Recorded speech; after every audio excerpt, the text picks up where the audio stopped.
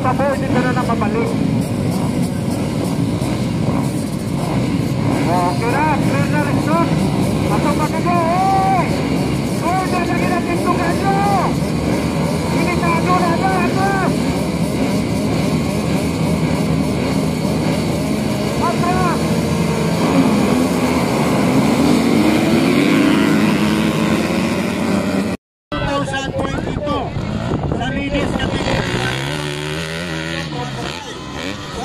Loca.